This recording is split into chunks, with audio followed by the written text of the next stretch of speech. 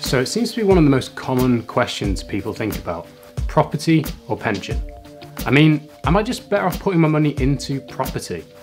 It feels a lot more familiar and some people also do really well.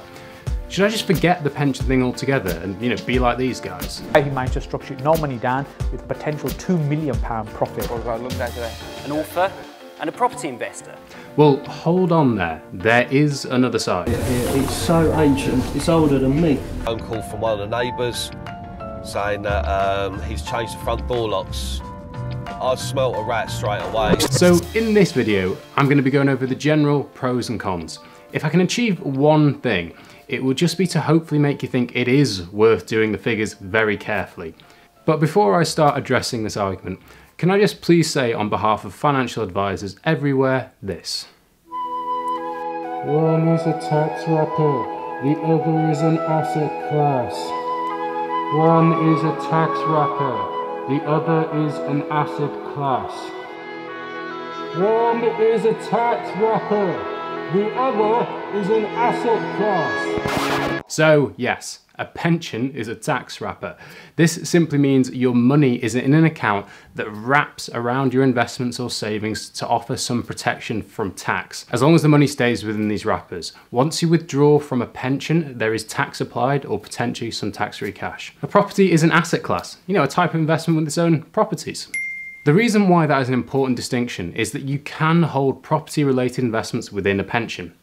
For example, commercial property can be held within some types of pensions. You can also get property funds that you can hold within pensions with lots of different holdings. So it's definitely not accurate to say that you can't hold property in a pension. But for the purposes of this video, and it's because I know this is what most people mean, what we're addressing is the question of, should I be putting all my money into a buy-to-let property or into a pension? I am also going to draw the distinction here in this video, an individually held property and not part of a company or a family investment company, as this would just create way too many caveats for me to really be able to address, and trust me, there are enough. I also have to say this is a complex area, and a short video can only give you a snapshot. So as ever, make sure you do your own research and get advice specific to you. So let's go. So returns as safe as houses. So why do we have this debate? Isn't it just because property is a better investment? So let's first have a look at the long run data. In the Credit Suisse Global Yearbook Returns from 2018, they evaluated property from 1900 to 2018 and found it had an inflation adjusted return of 1.8%. In contrast, real annualized equity returns, so after inflation from 1900 to 2017, were 5.2%.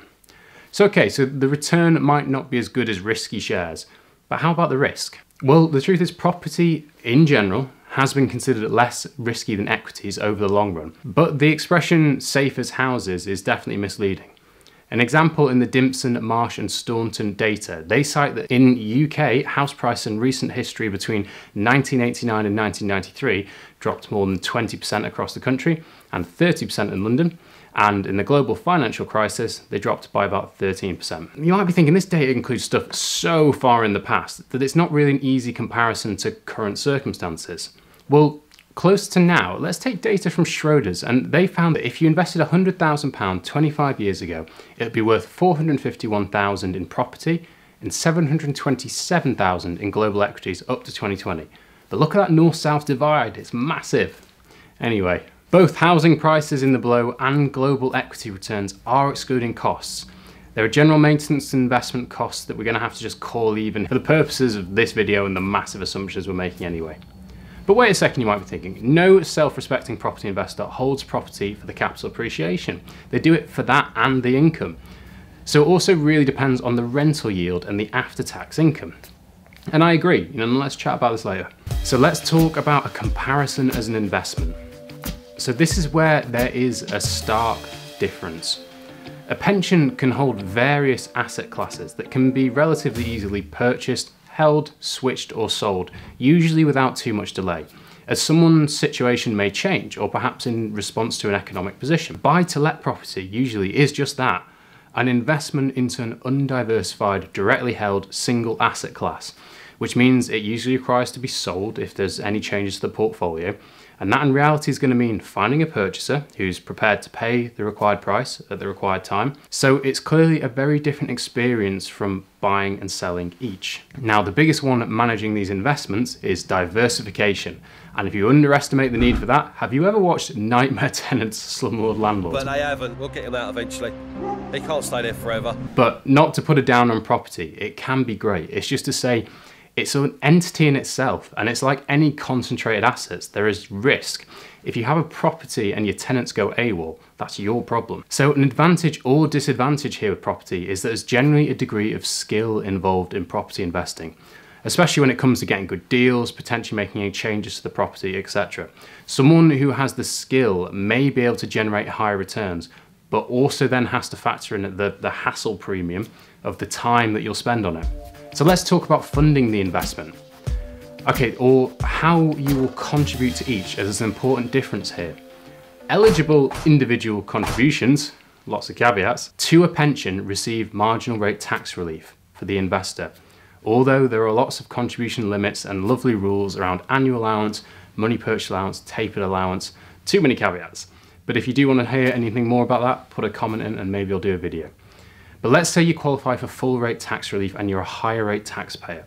To put a pound of investment into your pension, it'll cost you 60p because there's 40% tax relief compared to taking the money out and investing in a buy to let property because you're not going to receive tax relief on that initial investment. There are also other planning considerations for pensions as pension contributions can potentially be used to manage child benefit, personal allowance tax traps, and management of these traps can't really be done with individually held buy-to-lets. So let's kind of have a bit of an overview on cost comparisons.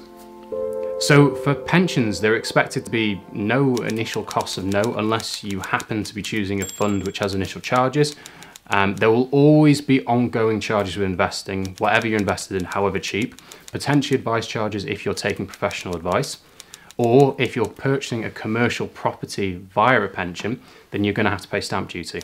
But as a general summary, you're unlikely to pay any initial costs for most pension investments. Now, there are more costs associated with buy to let, such as possible stamp duty land tax, also 3% stamp duty surcharge, as it's likely to be your second property, based on a £200,000 buy to let.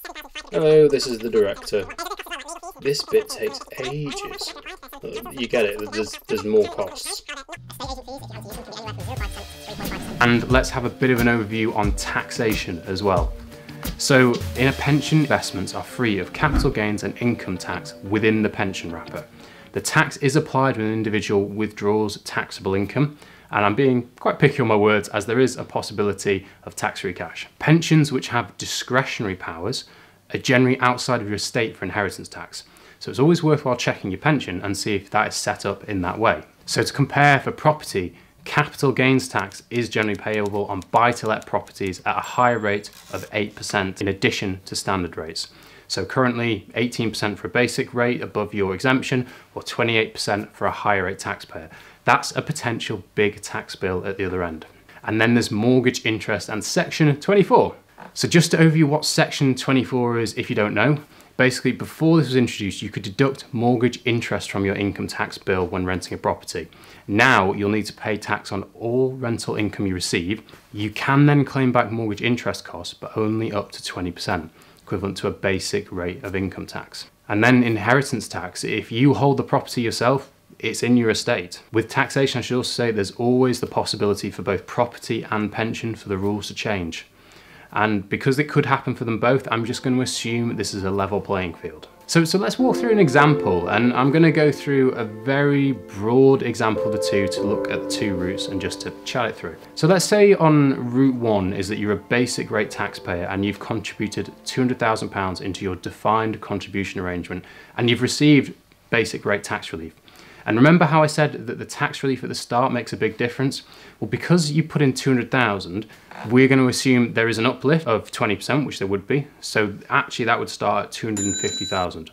So route two, we're just going to assume you paid the tax and now you have 200,000 in savings, ignoring maybe more the complex areas around national insurance as this could just get too complicated. So in route two, you wander down the high street and you see a lovely property and you think, yeah, that's great. Let's just, let's just rent that out. So the property's firstly going to take a hit on the stamp duty. We'll also say solicitors costs of about 1,200 and then general furnishing and white goods of 2,500 on the basis that, you know, even part furnished have to have some white goods generally. So you have budgeted that into your purchase. So this is what your purchase budget is now. And let's, let's deal with this income element first. So let's assume that you decide on a letting agent as because you just don't want to have to deal with advertising the property, interviewing and vetting potential tenants, inspections, collecting rent and the agent selects charge of 10% of the gross rental income for the services they provide.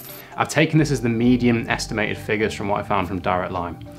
Now, according to Seven Capital, the average rental yield in the UK is 3.63%, but I'm to be a bit more generous. I'm just to assume it's 5%. So that's 5% on initial costs, which is this. And remember, the initial property price is lower because of the stamp duty charges and all the rest of it. So this is what it is after that 10% letting fees because they're a deductible expense. And that might not sound too shabby, does it? Well, then you've got to factor in the tax and we're going to still assume you're a basic rate taxpayer. So that's this after in your pocket after you factor in basic rate tax.